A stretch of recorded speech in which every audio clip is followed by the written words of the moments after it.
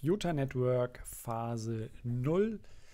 Demo-Video 28, wobei ich gar nicht mehr von den Demo-Videos jetzt sprechen möchte, sondern bei den letzten drei Videos geht es um die ja, äh, Vision, Strategie und die Argumentation dahinter, warum das alles sinnvoll und erforderlich sein sollte aus meiner Perspektive.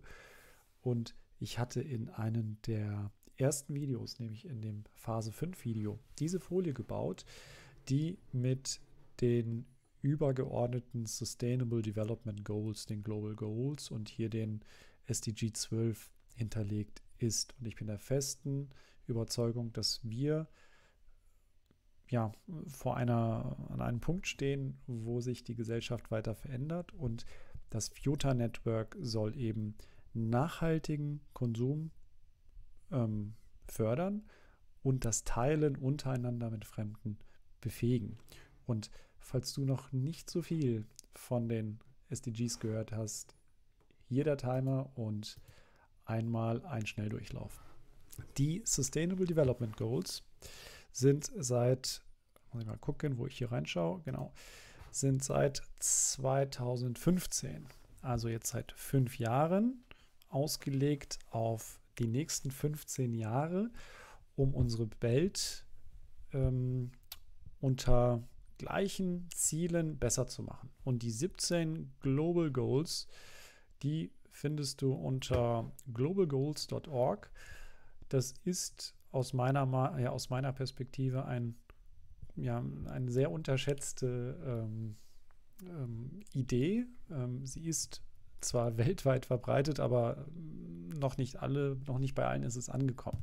Und ähm, als Mannheimer Bürger bin ich besonders stolz, dass die Stadt Mannheim da natürlich auch ähm, einer der Vorreiter ist und sich sehr stark an den Global Goals orientiert. Also wir haben hier ähm, das Ganze auf Englisch mal hier No Poverty, Zero Hunger. Also es geht nicht nur um die eine Dimension Nachhaltigkeit und das, was man jetzt auch aus Fridays for Future so kennt und äh, die Trends, die es so gibt, ne? ähm, Plastiksparbuch oder Zero Waste, das ist jetzt sozusagen ähm, nur eine Dimension.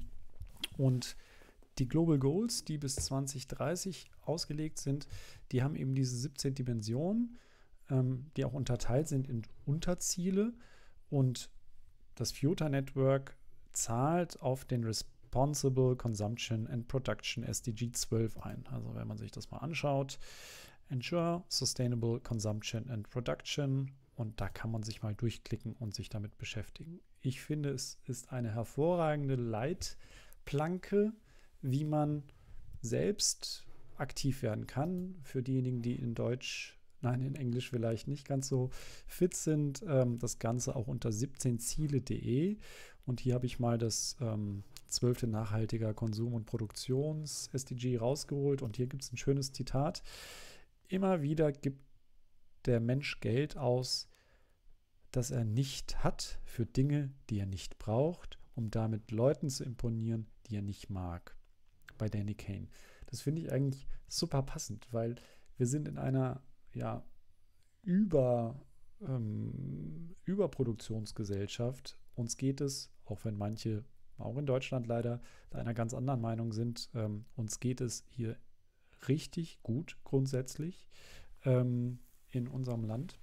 Und man kann eigentlich relativ stolz sein, ähm, in einem Gebiet zu wohnen, das stabil ist und keinen Krieg hat.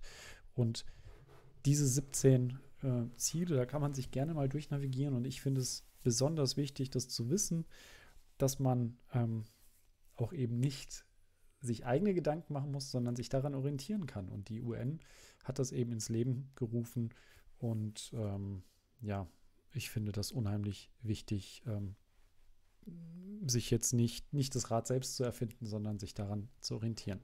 Und für das SDG 12 ähm, gibt es hier auch nochmal Unterziele, nachhaltige, äh, nachhaltige Konsum- und Produktionsmuster, natürliche Ressourcen, weniger Nahrungsmittel verschwenden, Abfälle. Also du kannst, auch wenn du nur ein, eine Person bist, äh, in deinem Alltag relativ viel dieser Ziele umsetzen. Und ähm, ja, ich habe eben im SDG 12 ähm, das passendste SDG für das Future Network gefunden. Eine andere Perspektive für die letzten drei Minuten. Ähm, ich sagte es schon, wir sind in einer ja, ähm, Wellbeing, in einer wohlhabenden Gesellschaft. Und für, ähm, für viele Menschen wird ja Wohlstand durch Geld definiert. Aber die Dimension, und das ist die Idee hinter den OECD äh, Better Life Index, besteht eben nicht nur aus dem Einkommensverhältnissen, sondern elf weiteren Perspektiven. Und wenn man das mal hier für zum Beispiel Baden-Württemberg ähm, rausnimmt, ist eben die Perspektive in unserer Wohlstandgesellschaft ähm, nicht nur ähm, ein stabiler Job oder ähm, ähm, ja, ein sicheres Umfeld, sondern da gehören auch ganz andere Perspektiven dazu. Damit kann man sich gerne mal beschäftigen.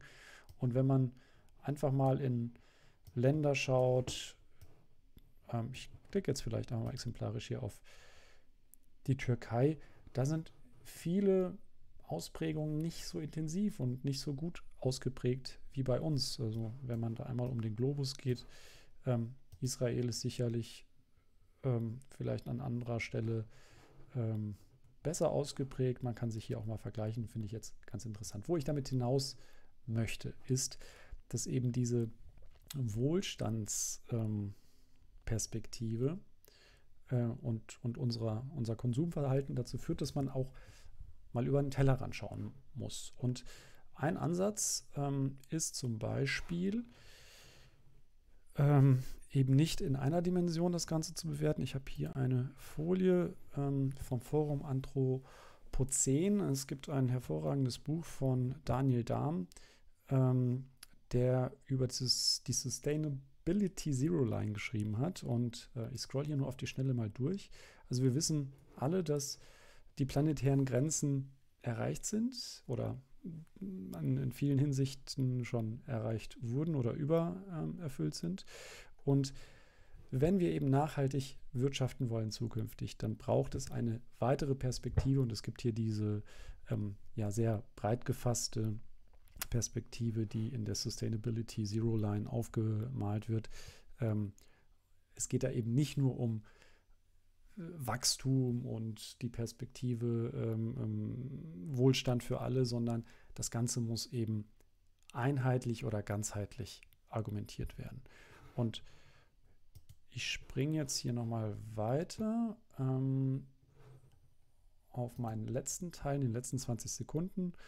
Ähm, und zwar gibt es hier einen, den ähm, Herman Daly, ähm, der ja, relativ interessante Publikationen veröffentlicht hat und häufig zitiert wird. Und darum oder da findet sich auch die Herman Daly Pyramid, die eben darauf beruht, und jetzt ist die Zeit auch um, ähm, dass die Naturressourcen unsere Basis sind und unser Wellbeing natürlich oben an der Spitze ist. Aber sobald wir das eben umdrehen und uns zu sehr in den Fokus drücken, dann rückt das alles auseinander.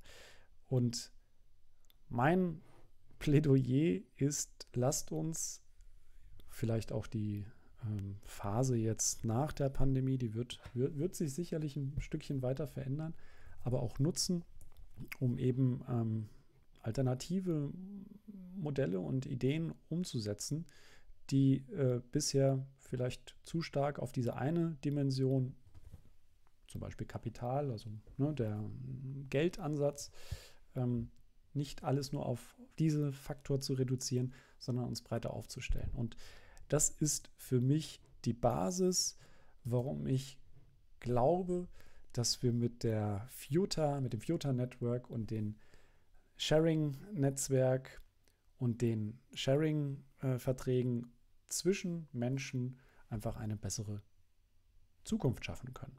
Danke für deine, naja, ein bisschen länger als sieben Minuten. Und ähm, es folgen noch zwei weitere Videos. Bis dann.